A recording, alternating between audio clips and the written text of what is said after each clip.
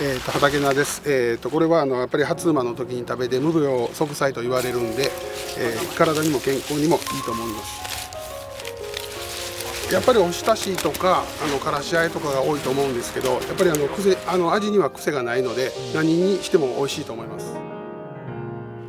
結構おすすめですね、うん、食べるのも美味しい美味しい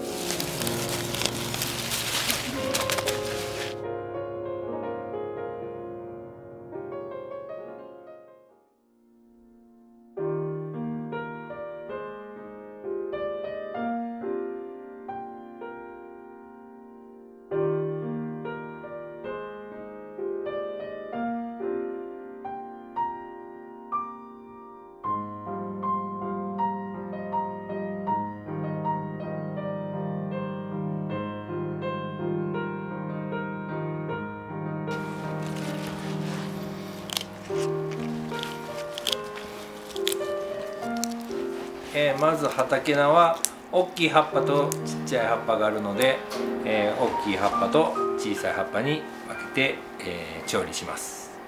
ヘタも取りますね。2センチぐらいですねほぼ。これぐらいまでで火の通りのことを考えて、えーまあ、茎の部分は茎の部分で分けていきます。あの葉っぱがこう広がってますのでちょっと1センチぐらいに切っていくと大きさが揃います。で木の部分と葉っぱ。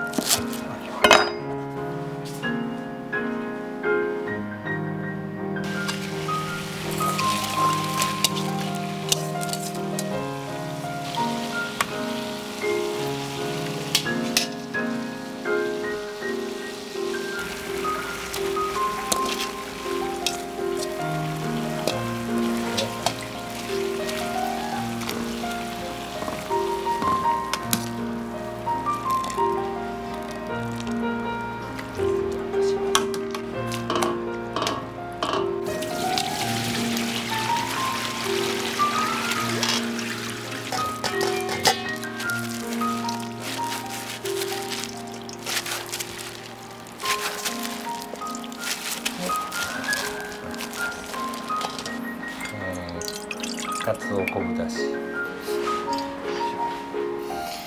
で醤油とみりんという感じ。で砂糖を少々ですね。加えるとうまみというか味味わいがこうしながらこう溶かしていくとよく混ざります。ペーストもちょっとあのからしと同じように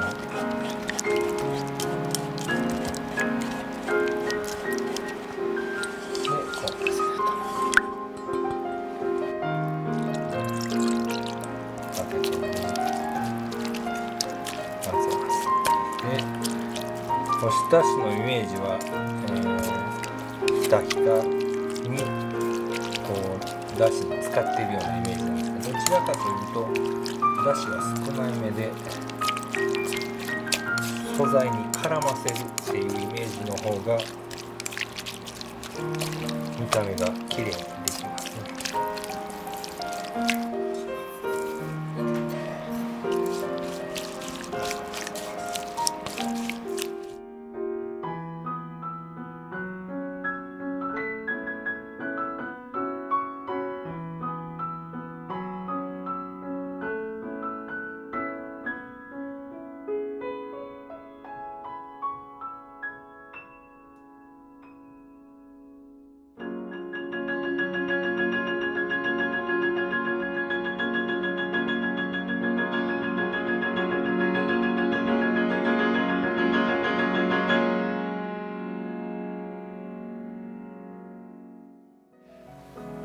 今回は今日畑菜を使った一品をご紹介させていただきました。